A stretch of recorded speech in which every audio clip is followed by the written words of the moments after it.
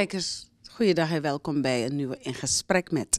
Vandaag ben ik niet in de studio. Ik ben te gast bij de heer Rudolf Elias, directeur van Staatsolie.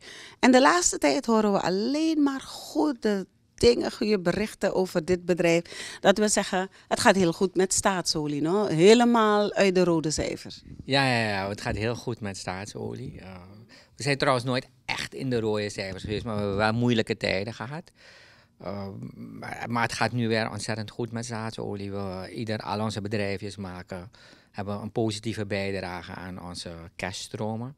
Zowel de raffinaderij, GoTo, SPCS uh, en natuurlijk de upstream.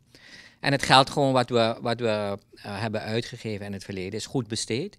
Dat kan je ook zien aan de winstgrafiekjes die we laten zien. En, en dat is gewoon leuk. Uh, maar wat nog veel leuker is natuurlijk, is dat we in ontzettende exciting times tegemoet gaan. Uh, we zijn zelf bezig met een prachtig exploratieprogramma in het uh, Nearshore gebied. Dat is in het watergebied tussen 0 en 25 meter, maar het is wel op zee. We zijn op dit moment bezig om een van de grootste prospects, mogelijke oliefondsen uh, aan te boren. Een heleboel mensen denken dat we de olie al gevonden hebben. Helaas, helaas is dat niet zo. Ik kan je beloven dat de hele Surinaamse gemeenschap binnen 24 uur weet. Ik, zeg, ik wil eigenlijk zeggen binnen 12 uur weet. Dat als we olie gevonden hebben. Dus dat, dat is dat absoluut nog niet zo. Maar we zijn wel heel excited dat we denken dat we het binnenkort gaan vinden.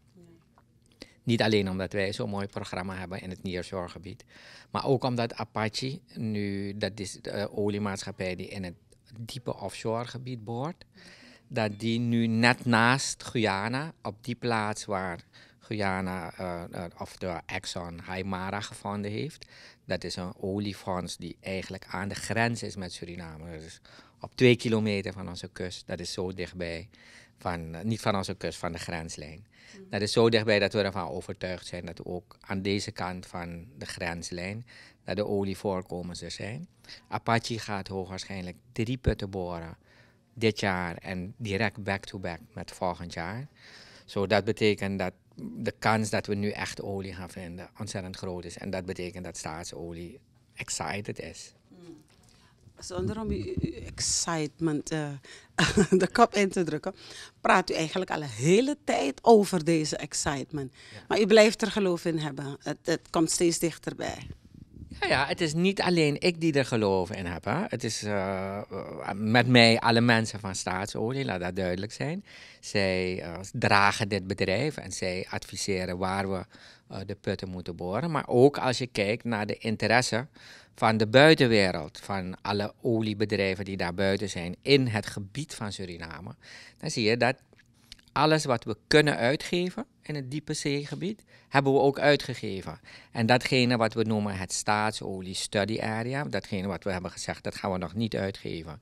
Want daar willen we zelf uh, exploreren. Ook daar hebben ze, zitten ze steeds aan onze deur te klappen en ze zeggen, zijn jullie al zover? Willen jullie niet samen met ons wat doen? So, de excitement komt natuurlijk niet alleen van onze kant uit. De excitement komt ook uit van alle andere oliebedrijven die heel veel geld investeren in Suriname om ervoor te zorgen dat we hier olie gaan vinden. En ik zeg ook altijd, ja, Guyana heeft ook iets van 30 droge putten geboord voordat ze olie gevonden hebben. Wij hebben nu iets van 12 droge putten geboord. Uh, ik ben ervan overtuigd dat we geen 30 droge putten gaan boren, maar dat komt vooral door het succes van Guyana. Door het succes van Guyana leren wij ook. We hebben niet alle informatie, maar bijvoorbeeld Tullo, die net olie gevonden heeft daar, die heeft bij ons ook drie blokken. Dus die, dat is ook een, een bedrijf waar we heel close mee samenwerken. Binnen Tullo bijvoorbeeld zit een van onze uh, high potential geologen, die doet daar een secondment van een jaar. Die zit daar nu en, en ik weet zeker dat als hij terugkomt, dat hij een stukje van die sleutel gaat meenemen. Ik kan niet zeggen de hele sleutel, maar hij gaat wel weer een stukje meenemen. Wat is een secondment? Een secondment is iemand die van ons bedrijf een jaar lang in een buitenlands bedrijf, een van onze partners, gaat werken. Niet alleen maar uh, gaat leren, maar ook echt gaat werken. Om te kunnen zien hoe doet zo'n buitenlands bedrijf dat nu? Hoe werken ze daar? Hoe nemen ze beslissingen? Uh, hoe ziet hun organisatie eruit? Zodat als ze dadelijk terug zijn, dat ze ons ook kunnen helpen met uh, ervoor zorgen dat zij ook ambassadeur zijn over hoe wij onze organisatie steeds meer als een wereldklasse bedrijf en als een partner van zo'n IOC, uh, van zo'n internationaal oliebedrijf, kunnen, dat we ons zo kunnen uh, opereren. Ja, En Staatsolie bereidt zich daarop voor. Maar het bedrijf heeft het afgelopen boekjaar ook goed geboord. Men praat zelf over dat Staatsolie nu weer terug is als een billion dollar bedrijf. Ja, dus de, als je kijkt naar onze, onze verdiencapaciteit, dan klopt dat. Uh, onze verdiencapaciteit is ongeveer gelijk aan de verdiencapaciteit toen de olieprijs 100 dollar was. Terwijl de olieprijs nu tussen de 45 en de 60 dollar zweeft. Dat wil zeggen dat de investeringen die we gedaan hebben in het verleden nu renderen. Die maken nu geld. En, en dat is natuurlijk een heel mooi gegeven. We zijn niet geen billion dollar bedrijf. Het, heeft toevallig vandaag weer in de krant gestaan. We waren vroeger een billion dollar bedrijf toen de olieprijs 100 dollar was. En toen onze eigen raffinaderij nog geen olieproducten leverde aan Goto. Toen moest staatsolie olie importeren voor Goto. En die importen die waren rond de 300 miljoen dollar. Die 300 miljoen dollar die leveren we nu uit onze eigen raffinaderij. Dus die mag je niet meer meetellen met de revenues. Maar als je kijkt naar onze winstcijfers, nogmaals, onze verdiencapaciteit, dan zie je dat de verdiencapaciteit van staatsolie ongeveer weer op het niveau is van toen de olieprijs 100 dollar was. En net zei ik het al, staatsolie bereidt zich dus voor op die olie, grote oliefonds en heeft in dat kader ook aangegeven zich uh, uh, bekend te maken in het buitenland. Hè? Dat jullie zouden ook gaan op uh, de, hoe noem je dat? De internationale. Ja, ja kapitaalmarkt, maar ook uh, bonds uitgeven, aandelen, internationale aandelen. Ja, dus de, de, is de bedoeling dat we staatsolie bekendheid geven bij de internationale investeerders. Niet alleen in Zuid-Amerika, Amerika en Europa. Maar we zeggen we willen zelf ook naar het Midden-Oosten gaan en naar het Verre Oosten. Niet omdat we denken dat we het geld niet kunnen ophalen voor een internationale bond, maar vooral om staatsolie bekendheid te geven. Zo'n bond die we willen uitgeven, dat gaat ongeveer een bedrag van 300 miljoen dollar zijn. Dat geld gaan we direct gebruiken om onze banklening af te lossen. Niet helemaal, maar weer voor een deel. Want dan hebben we een internationaal consortium van banken. Maar we hebben dan ook die internationale investeerders. Dat zijn dezelfde mensen, die investeerders, die dadelijk onze aandelen gaan kopen. Nou, onze aandelen gaan we voorlopig nog niet uitgeven. Dat duurt nog wel even. We moeten eerst een mooie oliefonds hebben. Dan moeten we zeggen, ja, wij gaan meedoen met zo'n oliefonds. En als we meedoen met de ontwikkeling, dan pas moeten we een miljard dollar op tafel leggen. En die miljard dollar die gaan we niet vinden op de internationale markt. Als je alleen maar naar bonds gaat of als je alleen maar naar een banklening gaat. Daarvoor zal je een deel van je aandelen moeten verkopen. Daar zitten we nu naar aan het, aan het kijken, maar we moeten nogmaals, eerst oliefonds. Dan moeten we zeker weten dat die oliefonds lucratief is. Ook voor ons, ook voor staatsolie lucratief is. En dan gaan we aandelen uitgeven dan is het goed als die markt die die aandelen koopt je al kent. En dat is de reden waarom we een bond willen uitgeven, waarmee we weer een deel van onze banklening gaan aflossen. Nou, daardoor kunnen we dadelijk niet alleen naar onze banklening kijken, naar onze bankconsortium kijken, internationale bankconsortium. Als we geld nodig hebben, we kunnen ook naar de bondmarkt kijken. Maar die bondmarkt, dat is ook tegelijkertijd de markt die onze aandelen kan kopen. Dan heb je dus op alle vlakken heb je ervoor gezorgd dat we een, een, een toegang hebben tot geld, tot mm. kapitaal. En als we die toegang tot kapitaal hebben, dan ben ik ervan overtuigd dat we dan ook kunnen mede-investeren, wat heel belangrijk is, mm-hmm. in zo'n grote oliefonds. En um, wat is de productiecapaciteit van staatsolie nu? Vandaag de dag uh, produceren we 6 miljoen barrels vaten olie, ruwe olie, uit het Saramaka-gebied. Suriname zelf gebruikt ongeveer 5 miljoen barrels. Aan ruwe olie in alle soorten vormen. In crude om elektriciteit te maken, in uh, gasoline, in diesel, in jetfuel. En als je gewoon alle oliesoorten bij elkaar optelt, gebruiken wij ongeveer 5 miljoen barrels. Staatsolie produceert ongeveer 6 miljoen barrels. Dat wil zeggen dat Suriname nu al een net exporter is van olie. Moet ik er wel bij zeggen dat we exporteren crude en we exporteren uh, fuel oil, dus om elektriciteit te maken en voor de boten. En we exporteren diesel. Wat we importeren nog steeds is jetfuel voor vliegtuigen, dat maken we nog niet. En gasoline maken we niet voldoende om de hele markt te voorzien. Dus de, voor diesel ja, voor uh, fuel oil om elektriciteit te maken ja, hebben we meer dan genoeg. En ook voor de crude. Dus dat gaat goed. En uh, wat zijn de prospects voor dit, uh, het komend boekjaar? Tenminste, om het verder af te ronden. Ja, dus de, als je kijkt naar 2017, 2018, 2019, dan zeggen we in 2019 gaan we het weer ietsje beter doen als dat we het in 2018 gedaan hebben.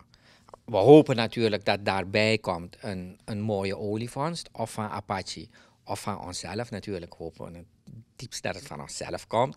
Maar ook Apache zou fantastisch zijn als we daar een mooie olievondst hebben. Als we kijken naar door de bank genomen, dan kan je zeggen dat staatsolie in 2019 gaan we een beter jaar draaien nog als 2018. En we verwachten zelf, als we kijken naar de voorkaas van 2020, dat 2020 weer nog iets beter wordt als 2019. We zijn dus progressief bezig met de bestaande activiteiten. We kijken dus dan niet naar dat we een mooie grote olievondst hebben of dat we daar een grote uitbreiding hebben. Nee, de basisactiviteiten, dat wil zeggen het winnen van de crude in Saramaka, onze raffinaderij, onze marketing department, GoTo, SPCS, die bedrijven samen en natuurlijk ons goudbedrijf, die gaan ervoor zorgen dat we 2019 en 2020 nog beter afsluiten als dat we nu 2018 hebben gedaan. Ja. Hoe staat het met het goudbedrijf, daar u dat aanhaalt?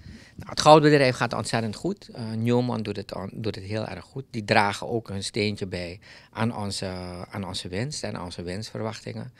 Zo, dat, dat gaat gewoon erg goed. Het is ook een hele fijne partner om mee te werken. We hebben heel goed contact met hun. En uh, dat gaat gewoon erg goed. Een hele mooie investering voor staatsolie. En de raffinaderij?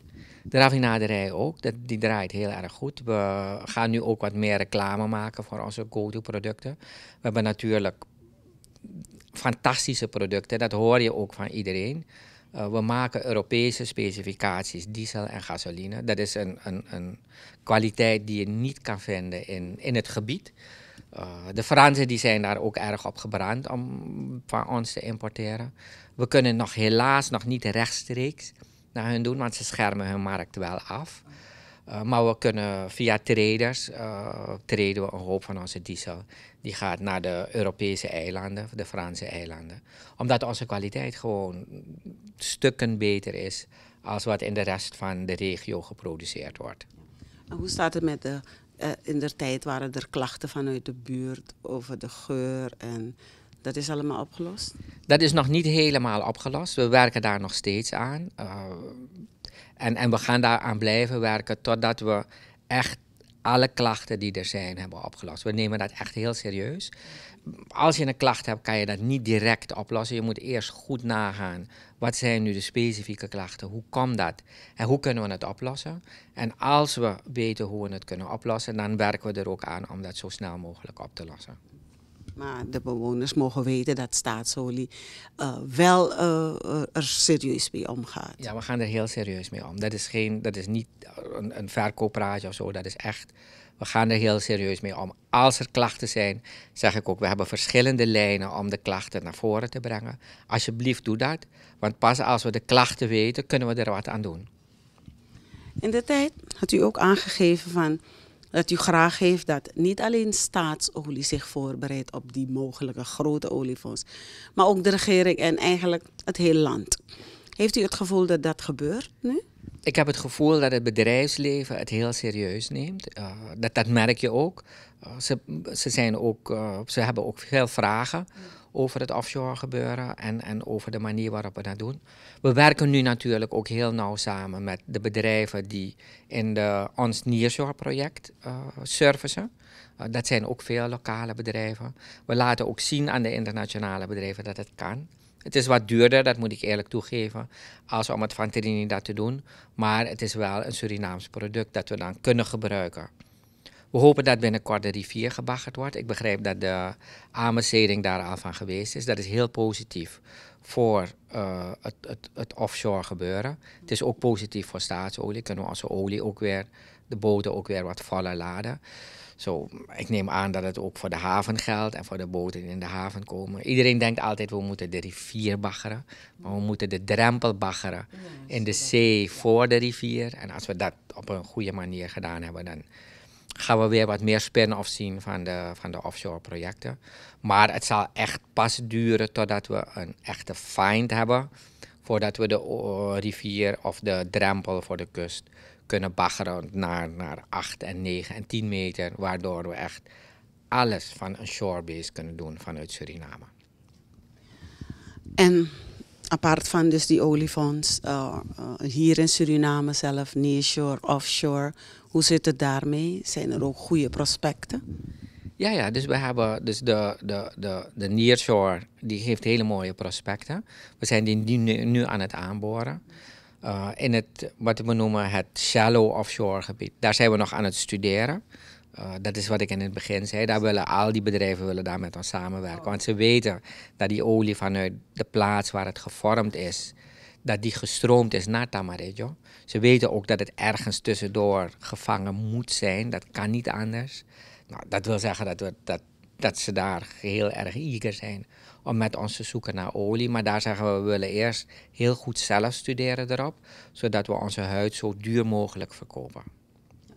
Als ik zo naar u luister, uh, hoeven we ons helemaal geen zorgen te maken over staatsolie. Integendeel, we moeten trots zijn op ons uh, eigen bedrijf. Ja, ik ben ook ontzettend trots. Het is natuurlijk het, het is een, een bedrijf van Suriname. Maar vooral trots op alle mensen die bij ons werken. En echt, de mensen doen fantastisch goed werk. Uh, ze zijn ongelooflijk gemotiveerd. En ik denk dat ze nog meer excited zijn als ik om hier te werken en om, dat, om dit mooie bedrijf nog mooier te maken als het nu al is. Ja, ja, ja, want ik weet dat in de tijd toen het inderdaad niet zo goed ging met staatsolie, dat iedereen, het was hands on deck. Bepaalde activiteiten worden op een low level gezet en het personeel morde niet echt. Nee, nee, nee. Integendeel. Het personeel heeft toen heel erg meegeholpen om ervoor te zorgen dat we over de crisisperiode heen komen. En het personeel zorgt er nu ook wel voor dat we niet weer in zo'n crisisperiode terechtkomen. Want dat is natuurlijk, het is wederzijds. En dat is natuurlijk ontzettend belangrijk. Vooral voor onze jonge mensen. Hè, dat ze hebben gezien wat we hebben meegemaakt. En gewoon ervoor zorgen dat de hele strategie die we als staatsolie hebben, dat we daar niet nog een keer in komen. Dat is heel belangrijk. Nou, meneer Elias, bedankt voor dit gesprek. Uh, wat zegt u nu tegen de samenleving? Tegen de samenleving zeggen we hebben nog geen olie gevonden. Laten we dat duidelijk stellen. Want een heleboel mensen komen dan moeten zeggen: oh, je hebt olie gevonden. Nee, we hebben nog geen olie gevonden. Als we olie vinden, weet de Surinaamse samenleving dat binnen 12 uur. Als we olie vinden in het offshore gebied samen met een van onze IOC's, dan kan dat wat langer duren dan 24 uur, maar niet langer dan 48 uur. Zij moeten namelijk de beurs op de hoogte stellen. Dus als ze het op zaterdagavond vinden, moeten ze wachten tot zondagochtend, twee uur voor de beursopening, om dat bekend te maken. Uh, maar op het moment dat zij dat bekend maken, maken wij dat ook bekend. Wij mogen dat gewoon niet eerder bekendmaken. Uh, omdat dat niet netjes is naar de beurs toe en naar de mensen die geïnvesteerd hebben in zo'n bedrijf. Maar binnen 36 uur weet heel Suriname of we olie hebben gevonden of niet. Als we olie hebben gevonden, laten we dan de juiste stappen nemen om ervoor te zorgen. En ik zeg, laten we die discussie eigenlijk nu al op gang brengen. Zodat we er zeker van zijn dat de inkomsten, net zoals in Noorwegen en net zoals in Chili, en misschien zijn dat geen olieinkomsten, maar koperinkomsten. Maar dat de inkomsten die we krijgen, dat die gebruikt gaan worden, niet alleen voor ons, maar ook voor onze kinderen, onze kleinkinderen en lange generaties die daarna komen. Dat vind ik eigenlijk het belangrijkste. Heel hartelijk bedankt en heel veel succes. Graag gedaan, Carla. Kijkers, dat was het dan, het gesprek met de directeur van Staatsolie, de heer Rudolf Elias. U heeft het gehoord, Staatsolie is nu geen billion dollar bedrijf, maar doet het heel erg goed. En er is nog geen grote olievondst. Maar zodra dat het geval is, heeft u het gehoord. U hoort het binnen 12 uur of binnen 24 uur. En we wachten met z'n allen, hè? want we hopen dat dat bericht heel snel komt. En straks ben ik er weer met een ander onderwerp.